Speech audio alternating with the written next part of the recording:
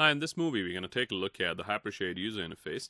We'll also take a look at how we can toggle the create bar on and off and some other buttons in the Hypershade that allow us to hide certain user interface elements. We'll take a look at the Blinn material and some common material attributes as well. So in my scene I have two teapots, a couple of lights, and you can see that I have some nice shadows over here. The Hypershade can be accessed from Window, Rendering Editors, Hypershade. I have it already open over here as I'm using a saved layout in Maya. So I have my Hypershade on top, I have my render view, and also I have my camera over here. This is the create area for the Hypershade. This is the materials and textures area, and this is my work area where I pretty much do all my node connections. The create area over here can be turned on and off by simply clicking on this button. So that way we get some more screen space. So that's a nice toggle button over there. The second button over here will just show us the materials area. You can see that the bottom area is gone. The third one does exactly the opposite. It shows us just the bottom area, which is the work area. And the fourth button over here is showing us both.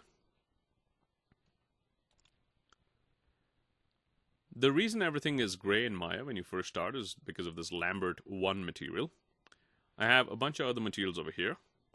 Let's click on the Blinn. A Blinn material is a very nice material when it comes to doing some metallic surfaces. I can simply middle mouse button drag and drop this Blinn on the teapot. And if it doesn't go, you can simply select the teapot and just right click on the material over here and say assign material to selection. And right now, if I just click outside, you can see that the Blinn has been applied.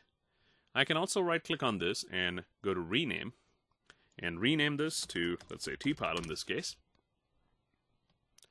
If I double click on the Blinn material over here, or if I simply hit Control A, it's going to open the attribute editor for me where I see some material attributes. The first one is color. If I click on the swatch, it gives me a nice color wheel over here and I can give this a nice color. Then we also have transparency, which pretty much plays with the transparency of the object. I also have something called incandescence, which makes the surface appear to glow, but it actually does not act as a light source.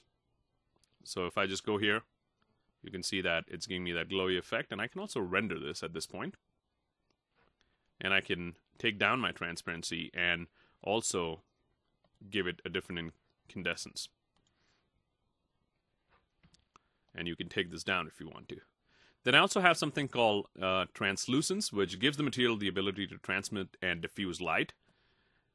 We also have something called specular roll-off and reflectivity, which pretty much gives the surface the ability to reflect its surrounding. The specular color, you can choose any colors for the specular highlights over here. So if I choose like green, let's say, and right now if I select the material again, and if I go back right here and take the incandescence down, you can see pretty much I see all these green highlights, which we can render.